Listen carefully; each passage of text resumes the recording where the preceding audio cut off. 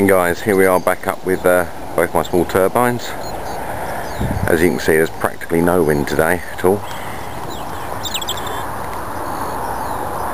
That's the Mark III treadmill motor turbine. Back on the pole yesterday, as per the previous video. Alright. And because of the length of the blades, which are a metre long, it's ticking over quite nicely in um, what is only just about a breeze. What sort of speed are we getting? Not a lot, about 65 RPM. Alright, down at the um, business end, let's see what we're getting there on the end of the uh, on the end of the wire coming out of the um, motor. Okay, here I am testing out my um, DC step-up voltage regulator module purchased off eBay for £15 you can see some of the spec there um, except an input voltage range from um, 3.5 to 40 volts. Outputs 5 to 55 volts and should handle about 3 amps. Now, the advantage of this is that obviously when you're running at low wind speed you're not getting the voltage you want. Uh, here's the voltage going in. Okay and this is the voltage I'm currently getting out. No smoke and mirrors. Voltage in voltage out. Obviously the 28 volts is going to be at significantly less current. But the point is I'm managing to use some very low wind speed um, rather than just chucking that energy away altogether. So um, I'll complete this video by showing it hooked up to a charge controller. There we are again only 3.5 volts in. And that motor can supply about 7.5 amps. Voltage out 28 which will charge the battery bank okay. Started to drop there because the turbine is almost stationary. Alright 3.6 volts 28 so let's check on the turbine. And as you can see it's barely spinning at all.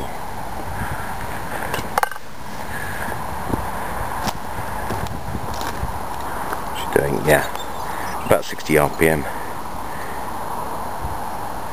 and there really is, there's no wind.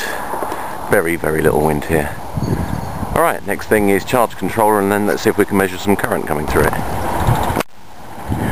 okay here we see this is the same setup as the other day. Meter on the right um, is the voltage coming in from the DC treadmill motor. Voltage on the left is the output from the DC-DC voltage convert, um, converter module which has now been put into a waterproof enclosure slightly better wind today.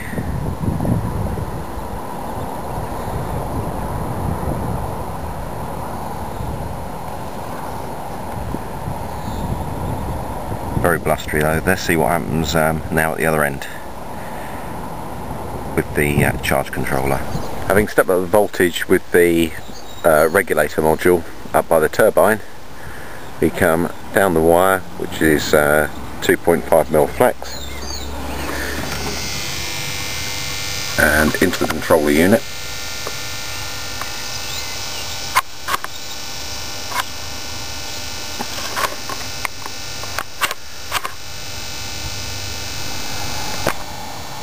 And we are charging. Now the problem with this is batteries in uh, or charger's in float mode at the moment So without running my batteries down I'm going to go for a crude test. Um, I'm just going to put a 70 watt bulb across the output from that lot. Okay, and uh, put the ammeter in series with it and see how much current we're actually getting. At the moment it's difficult to tell.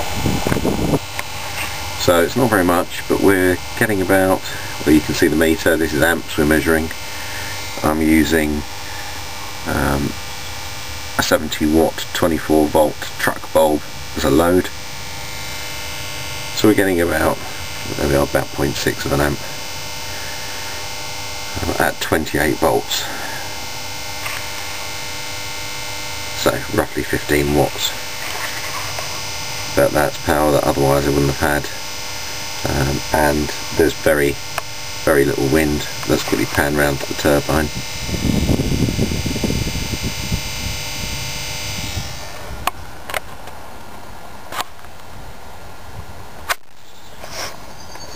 And as you can see it's ticking over. So normally to charge that battery that would have to be running or to put out any power at all that would have to be running about six times faster. So I think I'll persevere with this for a while and see what it does under higher wind and then maybe post a different video showing the output so um, at sort of 200 plus RPM I'd be hoping to get the full maybe 3 amps, 2.5 amps. Running flat out when it furls definitely getting the 3 amps at 28 volts.